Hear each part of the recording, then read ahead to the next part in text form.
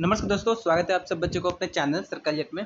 दोस्तों मैंने एक अभी कुछ सेकंड कुछ मिनट पहले एक वीडियो अपलोड की थी जिसमें कि मैंने बताया था कि जो बच्चों ने असाइनमेंट गलती अपलोड कर दी है या फिर असाइनमेंट उनसे अपलोड नहीं हो पाया किसी कारण बस तो उनके असाइनमेंट के लिए आपको री अपलोड का ऑप्शन दिया जाएगा। दोबारा से एक, एक बार पोर्टल ओपन किया जाएगा।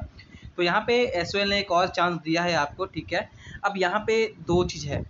ध्यान से सुनेगा दोस्तों ए बी यू जी और ए बी यू जी अब दोनों फॉर्म में, दोनों फॉर्म किसके लिए है? एक फॉर्म आपका होगा जो, एक तो नोटिस हो गया, एक फॉर्म है, ठीक है?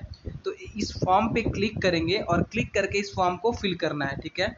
तो देखिए यहाँ पे आपको एसएल का रोल नंबर और बारकोड यहाँ पे क्लिक करके सबमिट करके आपको अपना फॉर्म फिल करना है। तो आइए दोस्तों, सबसे पहले मैं एसएल का रोल नंबर और बारकोड फिल करके आपको मैं दिखाता हूँ कैसे आपको ABE का जो ग्रीवेंस पोर्टल है ओपन करना है। दोस्तों, जैसे आप अपना एस का बारकोड और रोल नंबर डालोगे तो यहाँ पे कुछ इस तरीके का आपको ऑप्शन शो होगा। फिर यहाँ पे आपको एग्ज़ाम पेपर कोड ठीक है? आपको एग्ज़ाम पेपर कोड सेलेक्ट करना है, ठीक है? तो जैसे मैंने कॉपरेट अकाउंटिंग सेलेक्ट कर लिया, और यहाँ पे आपको रीजन सेलेक्ट करना है, ठीक है? Answer sheet could not be upload और रॉन्ग आंसर सीट अपलोड जो भी आपका है, ठीक है? वो आप डालोगे। पहले में आप डालोगे कि आपने आंसर सीट अपलोड नहीं कर पाया, क्योंकि सर्वर इशू था। ठीक है, दूसरा है रॉन्ग आंसर सीट अपलोड यानी कि आपने गलती से कोई और आंसर सीट अपलोड कर दिया है। तीसरा है पार्शियली यानी कि आपने एक क्वेश्चन तो अपलोड किया है, लेकिन आपका दूसरा क्वेश्चन अपलोड नहीं हो पाया, ठीक है? तो इसमें कोई सा भी आपको सेलेक्ट कर देना है और यहाँ पे ऐड करना है, ठीक है?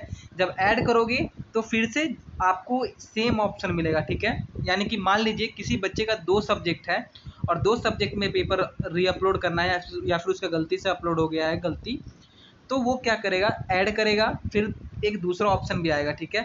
वो भी फिर वहाँ पे ऐड करेगा, ठीक है? तो यहाँ पे हम पहले ऐड कर दिए, ठीक है? अब यहाँ पे देखिए, यहाँ पे फिर से ऑप्शन आ गया, ठीक है? ये तो ऑलरेडी ऐड है, ठीक है? अब फिर से यहाँ पे ऑप्शन आ गया, फिर से आपको कोई सब्जेक्ट चूज़ करना है रीजन चूज़ करना है, और यहाँ पे सेव कर देना है, ठीक है? जितने जो पेपर्स हैं, जितने जो भी हैं, आपको, यहाँ पे आके चूज़ करके और यहाँ पे सेव कर दोगे। सेव करने के बाद आपका ऑप्शन सेव हो जाएगा। एक या दो दिन में आपके जो पोर्टल्स हैं ओपन हो जाएगा।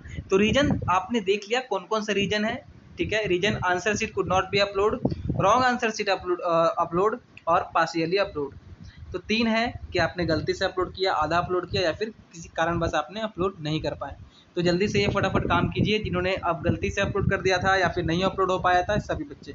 मिलते हैं नेक्स्ट वीडियो में, तब तक के लिए जय हिंद दोस्तों।